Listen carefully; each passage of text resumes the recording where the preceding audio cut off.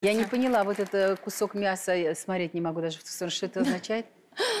А, Это то, что мы будем есть на завтрак, обед и ужин.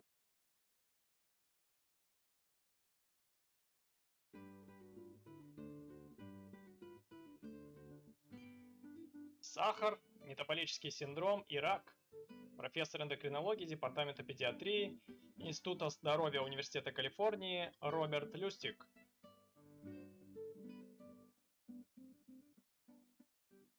Большое спасибо Виктории. Благодарю Джеффа и Рода, что организовали все это, черт возьми.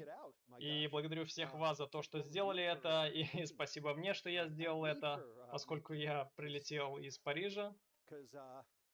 Долгая история. Я был на Фулбрайте. Это был творческий отпуск. Он был отменен, потому что университет закрыли. Да, неважно. Вот я здесь.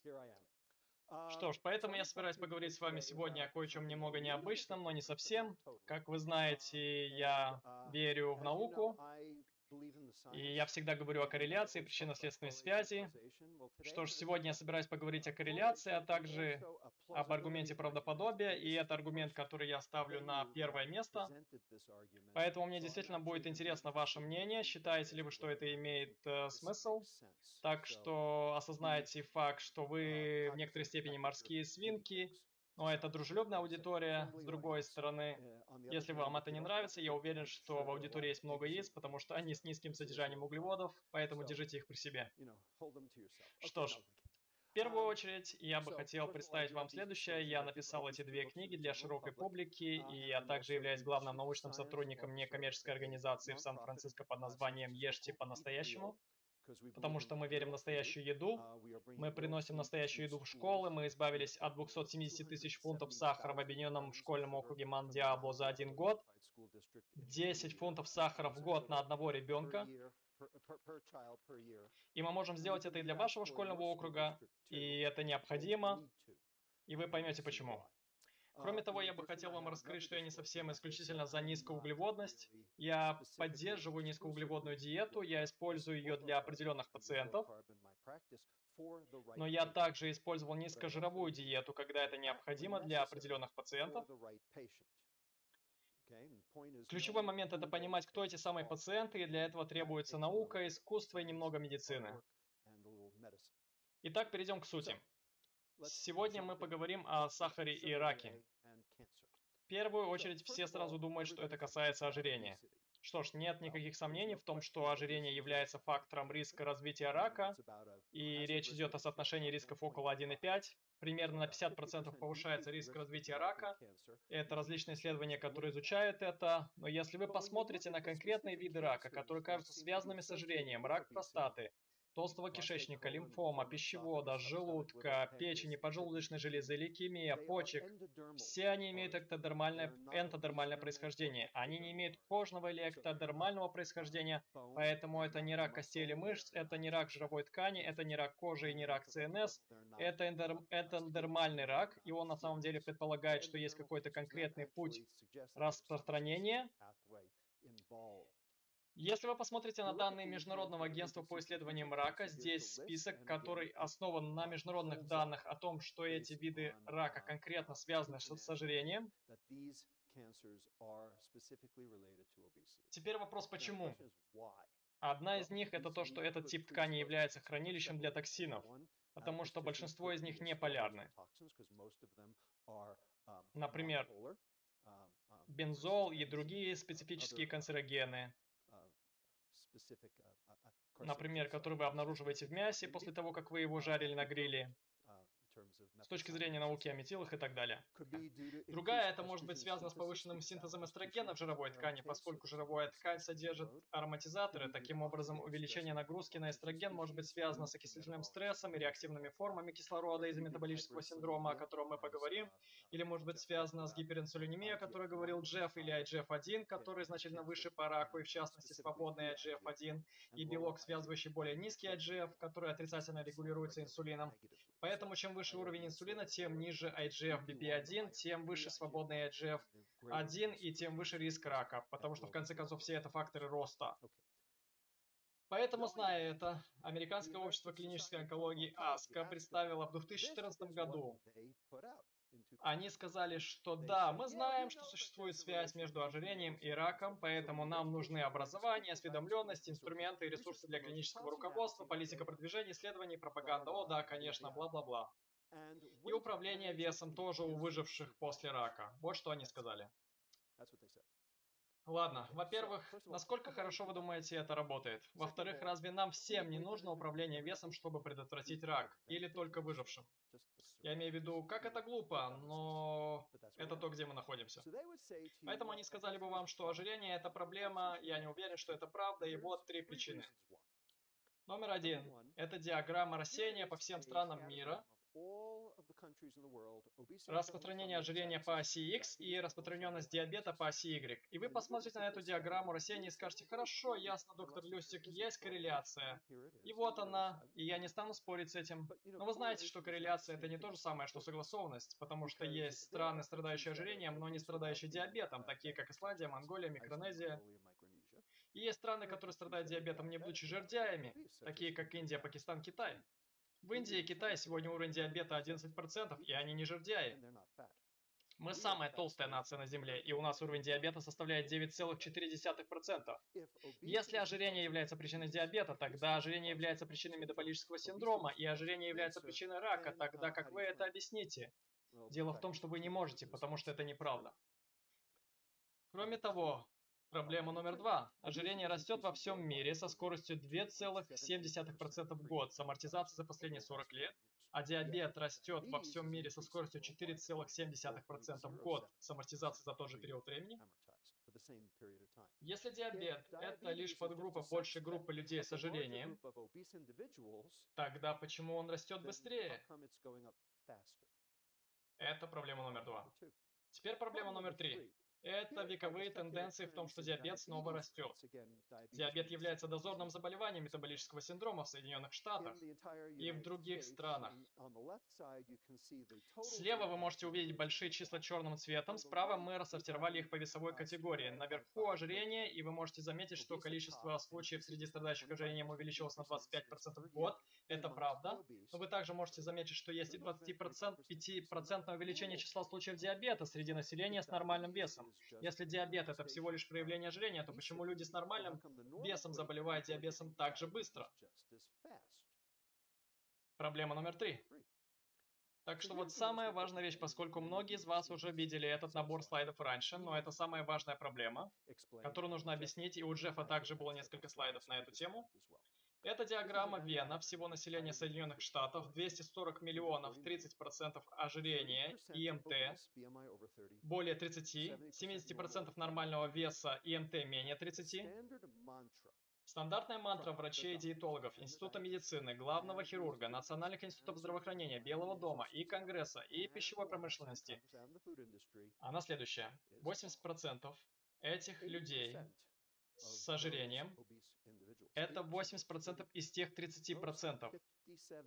Те 57 миллионов человек, они больны. Они толстые и они больны. Потому что они толстые.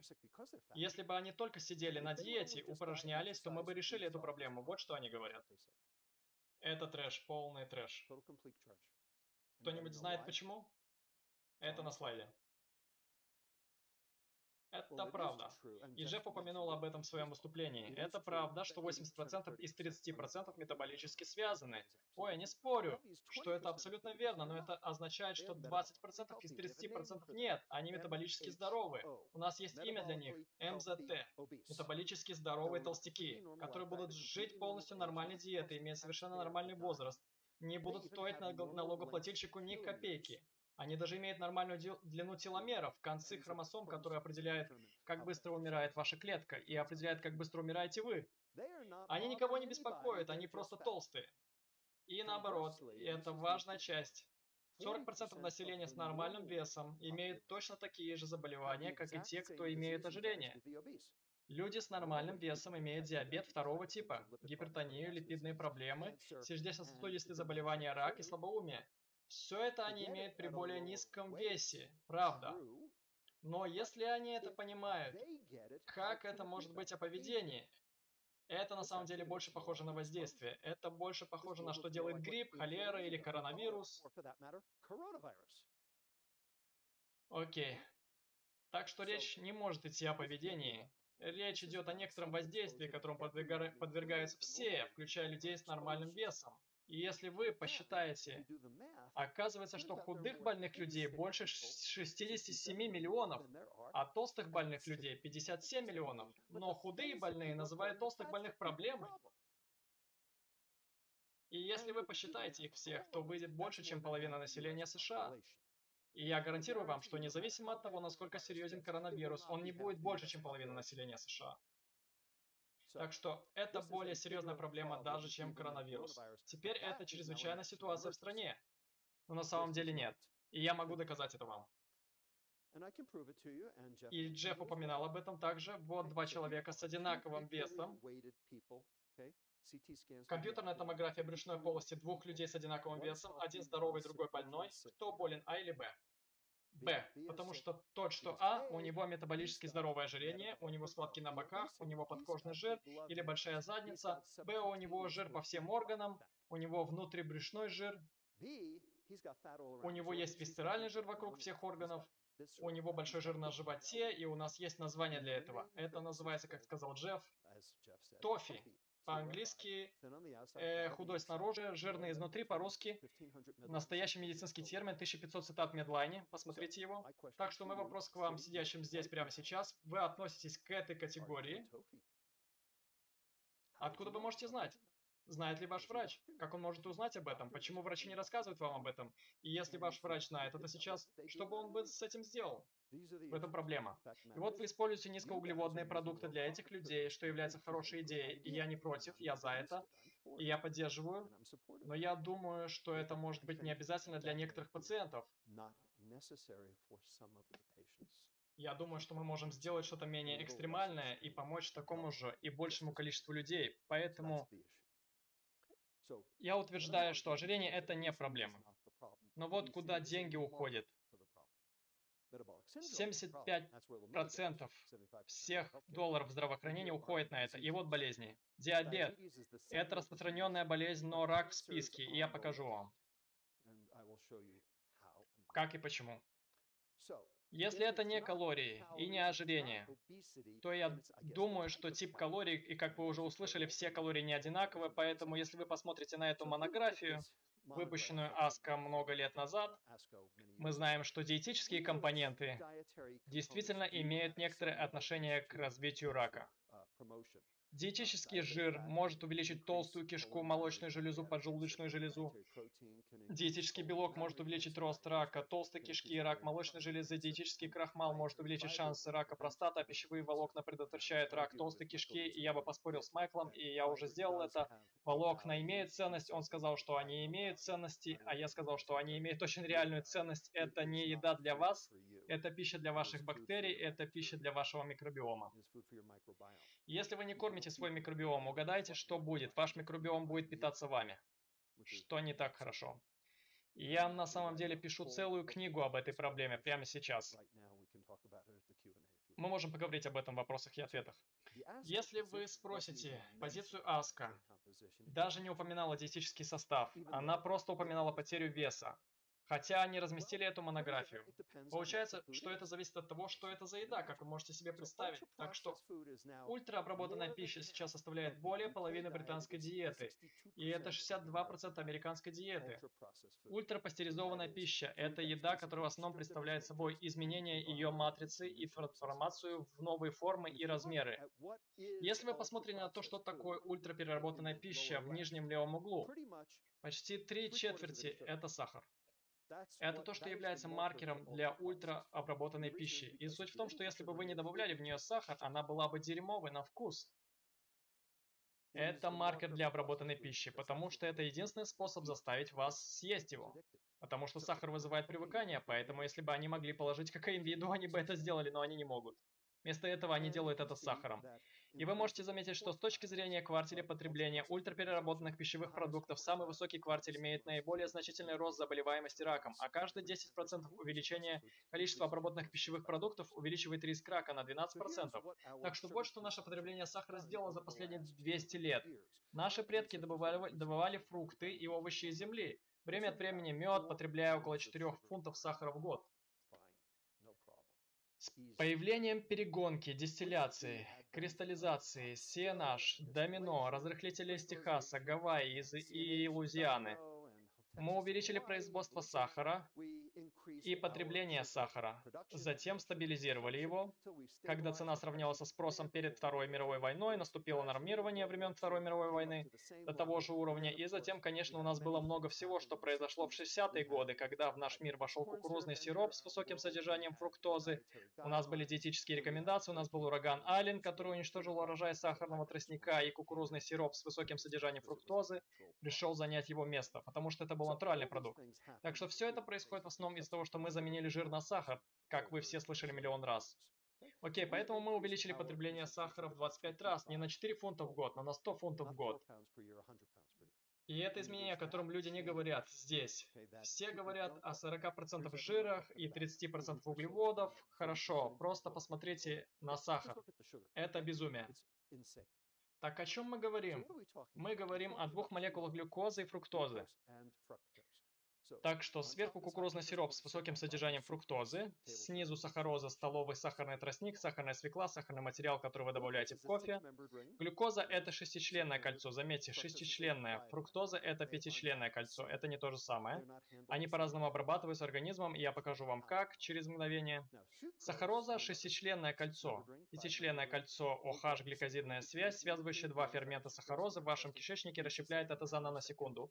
Вы поглощаете две части по отдельности, но в конечном итоге то, что попадает в вашу воротную вену, точно так же попадает в вашу печень.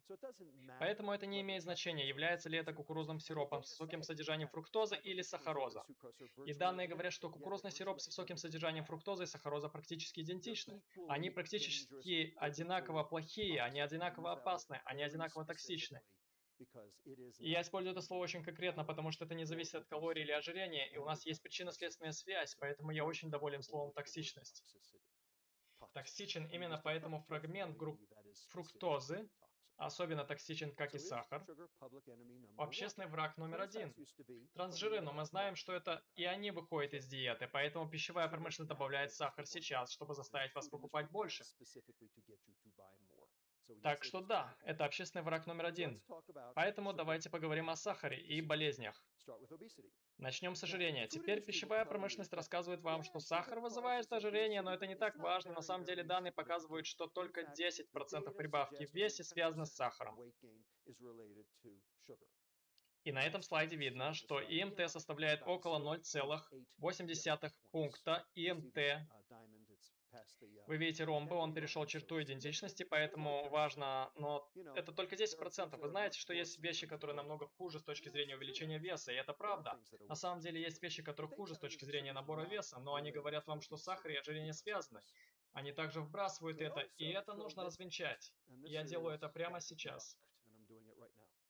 Поэтому, если вы посмотрите на этот слайд, вы заметите, что с 2000 по 2020 год мы на самом деле не снизили потребление сахара, и это правда.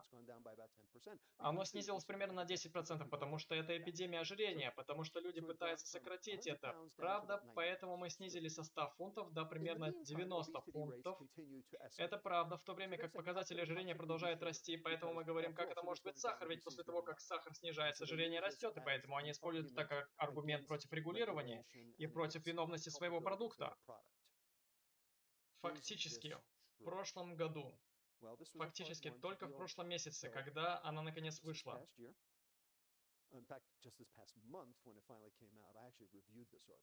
я действительно посмотрел эту статью. Группа из UT Knoxville на самом деле провела небольшое вычисление, и они фактически переделали его на основе штата Висконсин, и вы можете увидеть данные здесь, что у них было 46 календарных лет и 75 разных возрастов, которые они изучали отдельно, и что они сделали, так это применили математическую функцию, которая не просто смотрела на сегодняшнее потребление сахара, но и на прошлогоднее потребление сахара. Также и вы можете увидеть, что в, нивом ле- в нижнем левом углу, как они это сделали, они разработали новую модель. И теперь модель почти идентична, аппроксимирует данные, так что это сложная функция. Но тем не менее, реальная функция с точки зрения кумулятивного, то есть накопительного эффекта сахара. Вероятно, из-за его влияния на рост адипоцитов и их генеза. Теперь верно, что есть и другие факторы, вызывающие увеличение веса, а именно картофельные чипсы и картофель фри – это номер один и два, я не спорю. Что сахар занимает третье место, вы знаете, сладости, десерты и сахаросодержащие напитки, которые вы складываете вместе, они занимают третье место, так что да, есть много вещей, которые вызывают увеличение веса, сахар только один из них. Это очень интересно, это группа из Калифорнийского университета в Дэвисе, чем они занимаются? Они собирали чеки из всех ресторанов быстрого питания во всех 37 развитых странах за 20 лет. Как вам такое? И задайте теперь вопрос. Предрасполагает ли потребление фастфуда прибавку в весе? И ответ очевиден. Да. Это прямо здесь. И это базовый уровень, который вы знаете 20 лет спустя. Так что это прогноз предполагаемой корреляции. Затем вы задаете вопрос. Хорошо, фастфуд предполагает прибавку в весе. А как именно фастфуд предполагает прибавку в весе? И поэтому им пришлось смоделировать, им пришлось провести многомерный линейный регрессионный анализ, чтобы спросить, какой из компонентов предрасполагает гамбургер, картошка фри или безалкогольные напитки. И выяснилось, что это были безалкогольные напитки. Это был не гамбургер и не картофель фри. Я должен вам сказать, я был немного удивлен. Окей, а когда они это сделали, все остальные все остальное моделирование не изменило. Эффект безалкогольных напитков, так что в основном безалкогольные напитки являются движущей силой влияния фастфуда на ожирение. Теперь проблема в том, что компаниям, производящим безалкогольные напитки, не нравится этот факт. Они не хотят, чтобы вы это знали. И поэтому они публиковали свои собственные данные. И это был мета-анализ, который был проведен в 2013 году, когда они рассмотрели 18 отдельных точек данных и задали вопрос, прогнозируют ли сахарные напитки увеличение веса? Когда пищевая промышленность спонсировала исследования, 5 из 6 заявляли, что сахарные напитки не влияют на это. Если исследования финансировались независимо, 10 из 12 говорили, что да, есть эффект от сахара. Поэтому вы можете заметить, что корпоративное спонсорство имеет отношение к результату. Это было закреплено еще больше моим коллегой из USCF Дином Шиллингером в аналах внутренней медицины, потому что у него было 60 точек данных, и вы можете видеть, что было 26, которые спонсировались пищевой промышленностью. 26 из 26 не имели влияния сахара на диабет или ожирение, тогда как из 34, которые были независимо профинансированы, 33 из всех 34 сказали, что да, есть влияние сахара на диабет и ожирение. Так что, в конечном итоге, литература очень загрязнена, и она загрязнена намеренно. Потому что тогда они могут вернуться и сказать, видите, это неубедительно. Это то, что они делали последние 50 лет. Окей. Сахар, диабет. Забудьте о сахаре и прибавке в весе. Давайте поговорим о настоящем заболевании. Давайте поговорим о метаболическом синдроме. Я собираюсь представить вам правдоподобный механизм взаимосвязи и исследования причинно-следственной связи. Это то, что вы узнали в медицинской школе. Вы толстеете. Жировые клетки – это проблема. Вы толстеете, и из-за того, что вы толстеете, жир управляет цитокинами ТНФ-альфа и НЛ6, которые проходят через воротную вену в печень, на которую печень реагирует, те, которые становятся инсулинорезистентными, увеличивают выработку глюкозы в печени HDO, что таким образом увеличивает уровень сахара в крови, что вызвано тем, что островковые клетки вынуждены вырабатывать больше инсулина, который затем направляет больше энергии в жир, и таким образом вы попадаете в этот порочный круг. Но он начинается с жира. Это жироориентированный взгляд на метаболический синдром. Это то, чему учат в медицинской школе. Вопрос в том, правда ли это? Да или нет?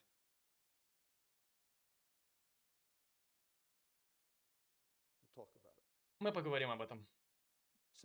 Я собираюсь сказать вам, что это верно примерно для 10% населения.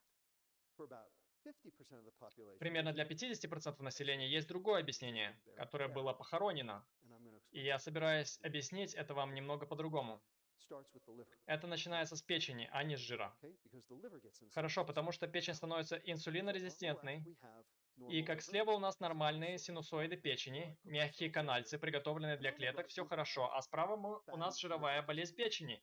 И вы можете видеть жировые вакуоли, вы можете видеть макрофаги, вы можете видеть начало рубцевания, фиброза.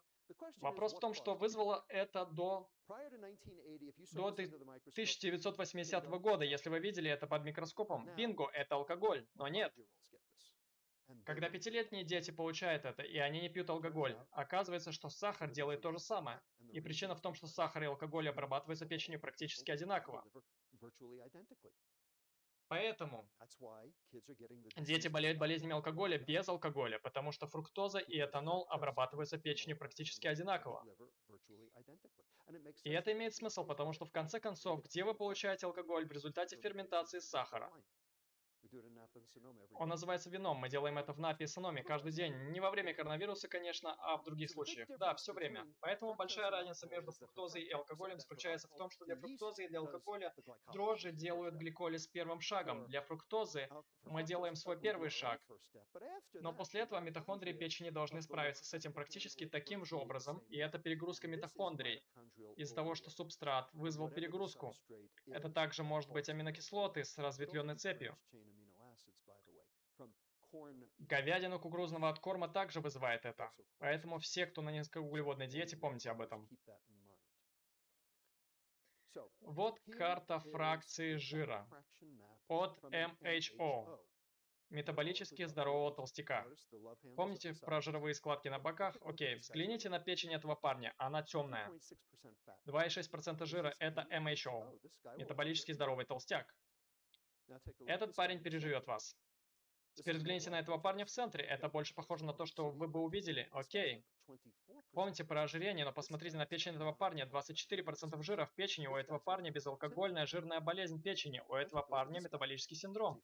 А теперь взгляните на этого парня. Он жирный, но без жировых складок на боках. Взгляните на его печень. 23% жира в печени. Этот парень худой. Но у него те же заболевания, что и у парня в центре. Итак, худой больной, толстый больной, толстый здоровый. Поэтому вы не можете сказать со стороны, что происходит внутри, потому что это жир, который вы не видите. Имеет значение, жир, который вы не видите, находится в вашей печени, и как он туда попал, в этом смысл. И это не получилось из говядины травяного откорма. Но его можно было получить из говядины, которую кормили кукурузой. Но наиболее вероятно, он попал туда из сахара. Неалкогольное ожирение печени, печеночное проявление метаболического синдрома и коррелирует со всеми другими проявлениями метаболического синдрома.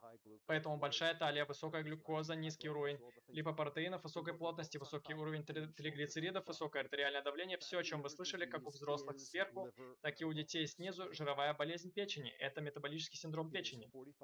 Это 45% латиноамериканцев, и это одна из причин, почему латиноамериканцы так предрасположены к диабету, потому что у них ожирение печени происходит быстрее, потому что у них есть два полиморфизма, который сжигает жир в печени быстрее, чем у кавказцев. Афроамериканцы, однако, защищены от жировой болезни печени. Они гораздо с большей вероятностью будут экспортировать жир из своей печени, чтобы переместить его на периферии в жировую ткань.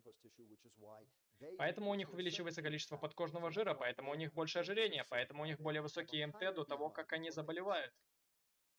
Примерно у одного из 20 человек с жиром в печени разовьется стеатогепатит, который представляет собой ожирение печени плюс воспаление. Из них 25% разовьется цирроз, и они умрут от своей болезни, если они не перенесут трансплантацию.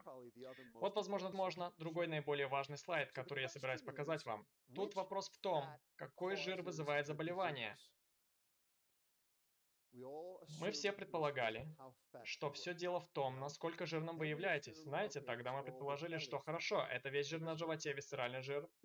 Это было первое исследование, и оно говорило, нет, это печеночный жир. Так что это работа группы Сэма Кляйна в Сент-Луисе. То, что они сделали, они наконец получили сканер с тремя Тесла, потому что вам нужен большой сканер, чтобы иметь возможность смотреть на жир в печени, и потребовалось время. Что они сделали? Они поместили целую кучу толстых людей в сканере, и они измерили висцеральный жир, по сравнению с печеночным жиром, и в этом исследовании они показали, что в то время как они считали печеночный жир постоянным, висцеральный жир не объяснял никакого влияния на инсулинорезистентность, тогда как, когда они считали висцеральный жир постоянным, печеночный жир объяснял все различия. В инсулинорезистентности имеет значение жир печени, а не висцеральный и не подкожный. Это жир печени. И 45% взрослых в Соединенных Штатах теперь страдают от ожирением печени. Вы хотите поговорить об, эпи об эпидемиях? Это эпидемия. Я гарантирую, вирус корона не достигнет 45%. Теперь вопрос в том, откуда этот жир берется из этого жира в печени.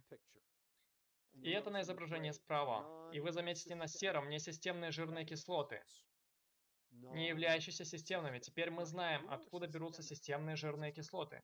Они берутся из липолиса жировой ткани или из диеты, но это не системно. Откуда они берутся? Из жира, вырабатываемого прямо в печени. В результате процесса, называемого липогенезом де-ново, ваша печень трансформирует сахар, получая его из печени. Она превращает его в жир, а затем экспортирует его в ЛП-ОНП, который мы измеряем в триглицеридах с сыворотки.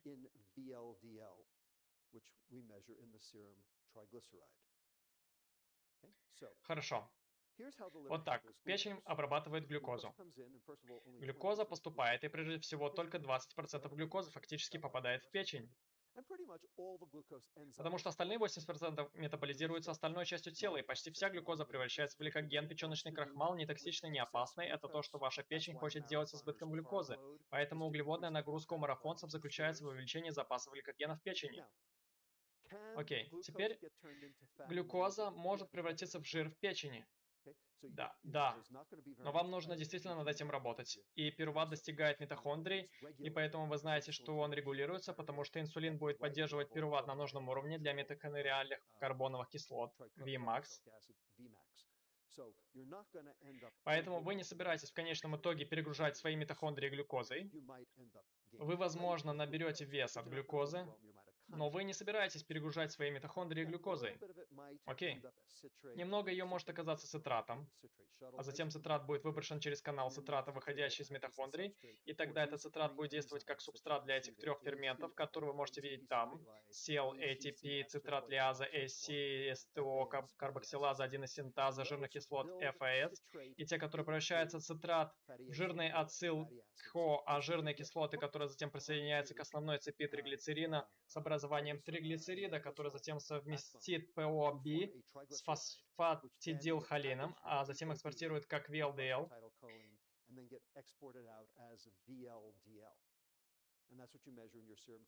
И это то, что вы когда-либо измеряете в своей сыворотке триглицерида. Вы видите, как это работает. Так что для любой молекулы глюкозы, сколько из нее в конечном итоге превратится в жир? Не очень много. Но вот фруктоза. Это совсем другая история. Потому что только печень может усваивать фруктозу. Поэтому 100% фруктозы попадает в печень. И вы видите гликоген где-то? Она не переходит в гликоген. Она идет прямо в митохондрии, и митохондрии в конечном итоге получают много пируватов. Они не справляются со всем этим, и поэтому они отправляют целую кучу цитрата, который затем превращается в жирный ацил-ко. Теперь часть этого будет экспортироваться в виде триглицеридов. И поэтому у вас гипертриглицеридемия, потребление сахара. Но некоторые из них не выводятся, некоторые из них будут оставаться в печени, будут застревать в печени. И теперь у вас есть липидные тела, теперь у вас есть жировая болезнь печени. Если у вас есть жировая болезнь печени, теперь у вас есть инсулинорезистентность на уровне печени. Поэтому фруктоза не регулируется инсулином. Поэтому в основном, когда вы загружаете кишечник 20 унциями Кока-Колы, вы в основном генерируете цунами сахара,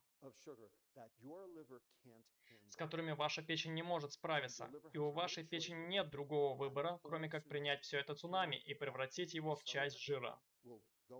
Некоторая его часть начнет циркулировать и станет фактором риска сердечно-сосудистых заболеваний и ожирения.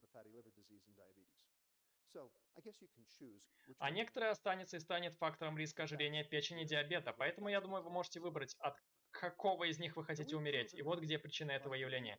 И мы доказали, что выполнив исследование, в котором мы взяли 43 ребенка с метаболическим синдромом из нашей собственной клиники педиатрии ожирения USCF Афроамериканцы и латиноамериканцы, все они потребители продуктов с высоким содержанием сахара. И что мы сделали так? Это выяснили, кто они. Мы изучали их домашнюю диету, а затем в течение следующих 9 дней мы, мы подавали им еду без добавления сахара. Мы снизили их процентное потребление сахара с 28% калорий до 10% калорий за все время.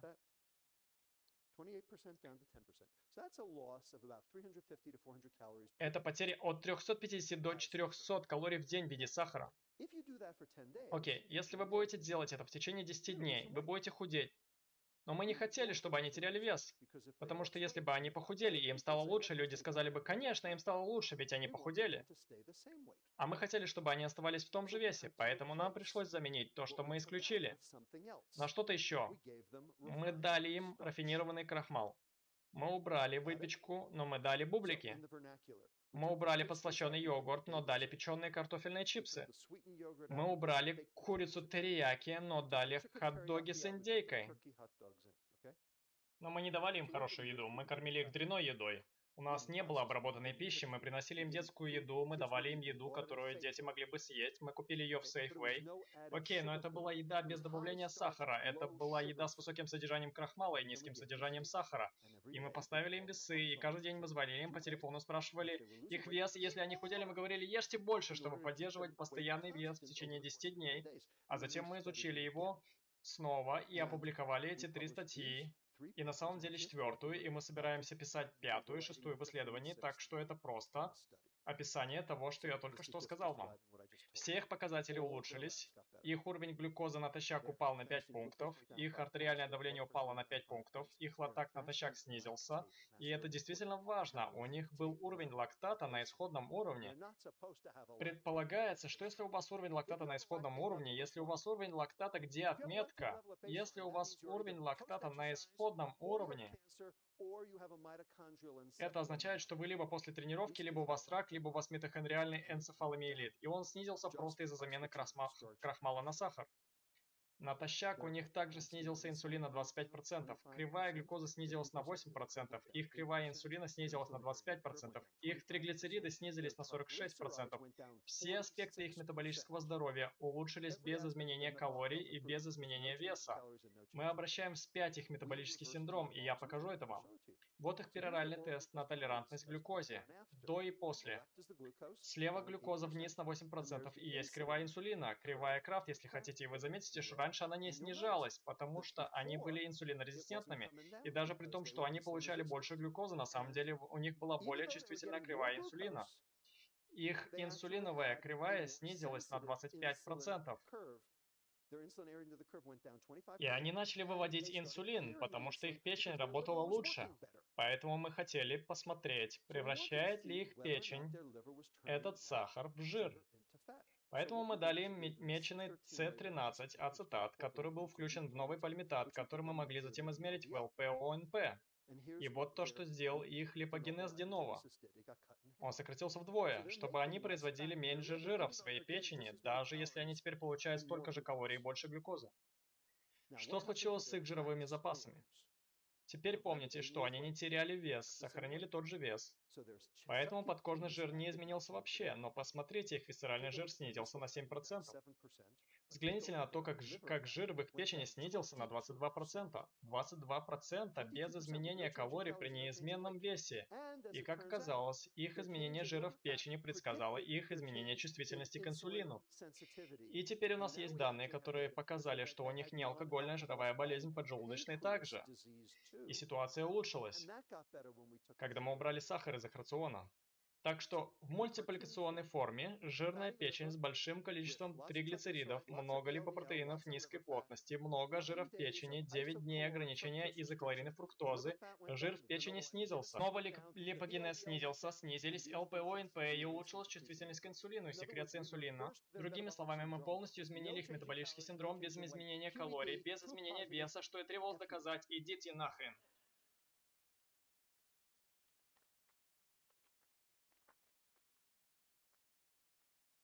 Поэтому мы думаем, что ваша версия метаболического синдрома на самом деле является проблемой, связанной с ожирением. Это может произойти, да, но для этого вам нужно действительно набрать вес, что более вероятно, если ваша печень станет инсулинорезистентной из-за сахарного болюса, что теперь все мы сталкиваемся с обработанной пищей, которая вызывает ожирение печени, которая затем стимулирует выработку глюкозы в печени, которая затем заставляет бета- бета-клетки производить исполнительный инсулин, который затем приводит к увеличению генеза на уровне жировой клетки. Это гипотенцентрический обзор метаболического синдрома, но это еще не все. Вы думаете, это все, но есть больше активных форм кислорода, которые мы знаем очень важны для метаболического синдрома. Поэтому вот пять фотографий еды, которые все имеют одну общую черту. Они все коричневые. Спасибо. Это называется реакцией Браунинга или реакцией Майера. Это причина гемоглобина А1С. Это не ферментативное гликозирование. Таким образом, как вы должны думать об этом? Вы можете медленно обжаривать мясо при 375 градусах в течение часа, или вы можете медленно обжаривать мясо при 98,6 градусов в течение 75 лет. Ответ такой же. Вы подрумя... подрумяниваете, вы просто подрумяниваете свое мясо прямо сейчас. Когда мы говорим, это часть жизни, окей, смерть — это часть жизни. Это то, что вас убивает, хорошо, просто вопрос, как быстро. Если вы не верите мне, вот реберный хрящ новорожденного в левом верхнем углу, красивый и белый, и вот реберный хрящ 88-летнего, красивый и румяный. Окей, вы подрумяниваете, и если вы добавите апельсиновый сок, сегодня утром вы потемнеете в 7 раз быстрее. Но я уже знаю, что вы этого не сделали. Потому что это конференция с низким содержанием углеводов. Хорошо, так почему это происходит? Потому что альдегидный фрагмент линейной формы глюкозы связывается с эпсилон аминогруппами лизина в молекуле гемоглобина, которая образует сдвигающее основание, а затем самопроизвольно разлагается с образованием этой амидной связи, которая в основном сохраняется в течение трех месяцев. И вот почему.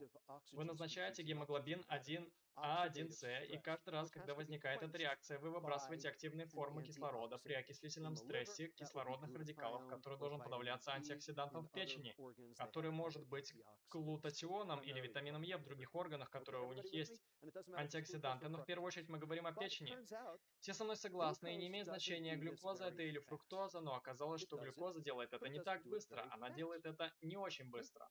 Причина в том, что из-за этой кольцевой формы, помните, что шестичленное кольцо, хорошо, оно сверху, так что есть линейная форма глюкозы, кольцевая форма, есть модель, занимающая пространство. Обратите внимание, что шестичленная кольцевая гидроксиметильная группа торчит, никого не беспокоя. Это счастливое соединение при pH 37, pH 7,4, 37 градусов, только 0,8% глюкозы в вашем теле находится в линейной форме, где она может связываться с белками, но теперь взгляните на фруктозу ниже линейной формы. Кольцевая модель, занимающая пространство пятичленное кольцо, более плотное но которое легче разорвать, так называемая ионная деформация. Две гидро гидроксиметильные группы, расположенные в осевом направлении, кнопочные головки, называемые аллостерическим взаимодействием, в основном их разъединение, поэтому при pH 37 градусов точки pH 7 37 градусов 3% фруктозы будут в линейной форме, и эта реактивная кетогруппа также реактивна, как и реактивная альдегидная группа. Поэтому больше фруктозы, больше радикалов кислорода, и мы можем показать это. И вы можете провести исследование дома. И если хотите, возьмите две пробирки, наполните их бычьим альбумином, сывороточным альбумином в воде, окей, добавьте равное количество глюкозы или фруктозы в каждую крышечку с парафильмом, поместите их на солнечный свет и каждый день возвращайтесь и вставляйте его в свой домашний спектрофотометр. И именно так быстро происходит реакция, которую вы видите для глюкозы, которую вы видите для фруктозы в 7 раз быстрее, в 100 раз больше кислородных радикалов, но вы должны что-то сделать. с теми, которые вам нужны. Чтобы их погасить, вы должны сделать так, чтобы они умерли. И именно это делает пероксисомы. И именно поэтому люди используют TCD для метаболического синдрома. Потому что это увеличивает количество пероксисом. И мы знаем это. Потому что чем больше потребления фруктозы, тем больше стеатоз или фиброз. Так что это в основном то, что мы говорим о том, что фруктоза попадает в клетки печени вместе. Это так называемая реакция Майера. Которая затем будет генерировать активные формы кислорода. Митохондрии будут генерировать активные формы кислорода в дополнение. Конечно, цитокины, которые выступают из периферического жира, также будут генерировать, а, генерировать активные формы кислорода. Так что у вас есть совокупность РОС в печени, которые должны быть погашены, и они идут к пероксисоме, чтобы погибнуть. Если пероксисома не имеет достаточного количества антиоксидантов, то в этом случае они могут повредить клетку печени. Это может вызвать перекисное окисление липидов, потому что денатурация белка может вызвать перекисное окисление липидов, вызвать то, что мы называем стрессом ЕР и стрессом плазматического ретикулума. Вы, возможно, слышали этот термин. Это означает, что вы в конечном итоге не сможете свернуть свою молекулу инсулина или не сможете свернуть молекулу рецептора инсулина, известную как развернутый белковый ответ, так что теперь у вас есть клеточная метаболическая дисфункция и, возможно, гибель клеток, что является метаболическим синдромом. У меня есть 1 минута и 13 секунд, чтобы рассказать вам о раке. Поэтому я собираюсь поговорить о корреляции правдоподобных механизмов. Пока нет причинно-следственной связи, и это проблема, поэтому вы, вероятно, слышали о раке метаболического синдрома, потому что разные факторы влияют на его способность к прогрессированию, и все эти вещи связаны с метаболическим синдромом. Поэтому вопрос заключается в правдоподобии того, как сахар делает это возможным. Кто здесь когда-либо слышал об Отто Варбурге? Окей, об эффекте Варбурга. Он был человеком, который понял, что раковые клетки не нуждаются в кислороде для роста. Он получил Нобелевскую, при... Нобелевскую премию в 1931 году. Кто-нибудь из вас может подумать, что клетка не нуждается в кислороде для роста, но как насчет плода? Напряжение кислорода у плода ПО2 30, так как это происходит, как плод растет, он растет быстрее, чем на самом деле оказывается, что чем больше кислорода, тем меньше рост. Чем меньше кислорода, тем больше рост. В этом нет абсолютно никакого смысла, кроме того, что это и так. Это ключ. Поэтому дифференцированная ткань имеет митохондрии, раковые клетки не имеют. Анаэробы, они растут, но у них тоже нет митохондрий. На самом деле митохондрии сжигают энергию вплоть до углекислого газа. Но раковые клетки, клетки плода и анаэробы, им нужна глюкоза. Им нужна углеродная основа глюкозы для других веществ. Если они сгорают вплоть до углекислого газа, то никаких других веществ. Им нужно это для рибозы, для ДНК, для липидов, для мембран, для аминокислот, для построения своих клеток. Так клетки растут, так что вы можете либо сжигать, либо вы можете расти. Вы не можете делать и то, и другое. И в любой момент жизни клетки им придется делать или то, или другое. Никогда и то, и другое одновременно. И это важно для вас, чтобы понять, что существует парадигма роста. Есть парадигма сжигания. Окей, мы поговорим через минуту, что это такое и что вызывает это. Поэтому, когда клетка делает правильные вещи, Переносчики питательных веществ приносят материал, и происходит гликолиз. Вы получаете два пирувата. У вас есть два NADH и два АТФ, так что вы не получите много АТФ из глюкозы в результате гликолиза, но пируват войдет в цикл ТСА, выбрасывая много NADH, который, конечно, позже будет действовать как окислительная реакция. И вы получите 30 АТФ из цикла сжигания пирувата ТСА, Окей. И вы получите немного лактата, не очень много, и он будет рециркулироваться, и затем появляется жир, и он закончится, как потребовал ваш СО, через этот процесс, который только что показал вам, и он сбросит 108 АТФ, поэтому, когда ваша клетка находится в режиме сжигания, вы можете генерировать много АТФ из глюкозы или из жира и белка. То же самое, но когда у вас есть раковая клетка, у вас нет митохондрий. Митохондрии не успевают за делением клеток. Кроме того, из-за того, что клетки растут так быстро, они перерастают это кровоснабжение, Поэтому в раковых опухолях есть много клеток, которые не могут питаться кислородом, поэтому они растут без кислорода. Вопрос в том, если вы получаете только 2 АТФ из гликолиза, потому что это то, что вы можете сделать без кислорода, как они могут это сделать? Как они могут остаться в живых? И ответ в том, что они вводят в 400 раз больше, потому что они открыли шлюзы. Так что эта раковая клетка теперь переполнена глюкозой. Вот почему. Поэтому глюкоза абсолютно необходима для роста раковых клеток, чтобы сократить АТФ, но в основном за счет гликолиза, но его в 400 раз больше. Но вам нужна рибоза для ДНК, вам нужен жир для мембран. Благодаря пентозофосфатному шунту это происходит. Если вы сожжете его полностью до углекислого газа, это конечный продукт. Все, все готово. Да, вырабатывается много АТФ, но на этом вы не можете расти. Поэтому вам не нужен кислород. Вам не нужны митохондрии в раковых клеток. Раковые клетки – это создание новых клеток. Теперь у вас есть целая куча поступающей глюкозы, у вас есть целая куча пирувата, целая куча АТФ. Вы вообще не собираетесь делать ничего в митохондриях. Вы собираетесь генерировать целую кучу лактата. Раковые клетки, как сумасшедшие, вырабатывают лактат. Пентозофосфатные цепочки собирают геномную ДНК рибозу, окей. Вы собираетесь генерировать липогенез денома, вы собираетесь делать жир из своего СО, как я показал вам из митохондрий. Вы собираетесь принимать глута глутамин, и вы собираетесь превратить его в белки, окей. Так что фруктоза входит в этот гликолиз. Помните, что в нем нет инсулина, и ему ничего не нужно. Он производит больше жира и больше рибозы. Теперь вопрос в том, почему. Вкратце, это гипотеза. Клеточный метаболизм при раке, разработанная группой Люка и Лея в университете Корнелла, и в каждом есть три фермента, которые сообщают клетке, что ей делать с энергией. И вот они. Первый, называемый PI3 киназой. Вы, возможно, слышали о ней. PI3 киназа определяет, открывается ли клетка, чтобы пропустить в 400 раз больше глюкозы, и это ее работа, чтобы открыть шлюз. Следующее. AMP-киназа.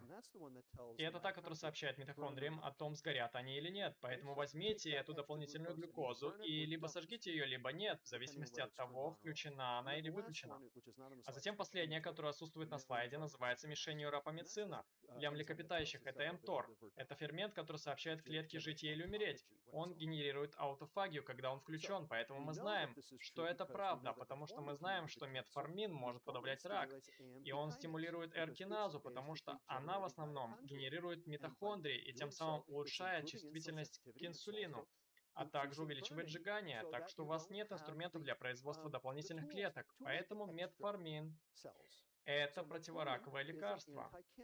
Это также антивозрастное лекарство, потому что оно позволяет всему сгореть до конца. Поэтому вот гипотеза, что есть три фермента, которые могут быть включены или выключены, что означает 8 перестановок. Два в кубе, один для роста. Когда PI3 киназа отключена, AMP киназа отключена, а mTOR включен, у вас есть рост. И вот когда у вас рак, когда же все наоборот? Когда PI3 киназа отключена, максимальное значение в mTOR отключено, это сгорание. Итак, мы имеем сгорание и рост, сгорание и рост, поэтому каждая клетка в теле должна быть способна делать одну из этих перестановок за один раз в своей жизни. Но есть шесть других перестановок, и вот они. И оказывается, что всякий раз, когда у вас есть одна из этих других перестановок, тогда у вас есть заболевание. Поэтому, когда киназа PI3 включена, а другие не работают, у вас есть вся эта дополнительная глюкоза, и вы не знаете, что с ней, с ней делать. Это метаболический синдром. Когда mTOR включен, и больше ничего не включено, тогда у вас преждевременное старение, потому что вы не можете обновить клетки, потому что нет аутофагии, потому что это мусорная аутофагия. И когда у вас нет аутофагии, у вас есть клеточное старение. Хорошая сторона AMP-киназа, она отключает mTOR. Если mTOR включен, он будет отключать а, AMP-киназу. Суть в том, что у вас могут быть разные аспекты выживания клеток и болезни, основанные на том, что эти разные ферменты находятся в разных местах, и вы знаете, что устанавливает эти ферменты в разных местах. Еда. Не лекарство, а еда.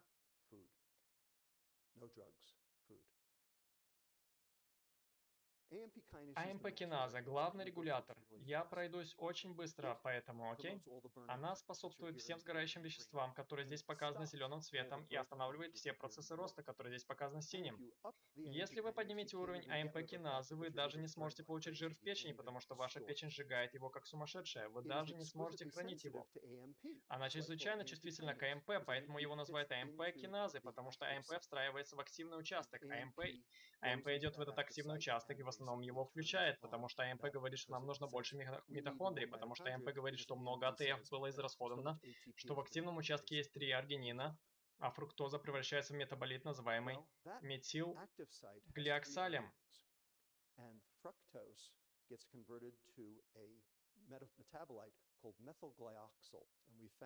И мы обнаружили это в наших исследованиях у детей.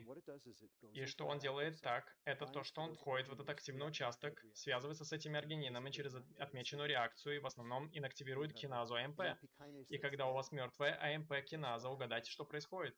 Вы получаете рост, когда не следует. Мы знаем это.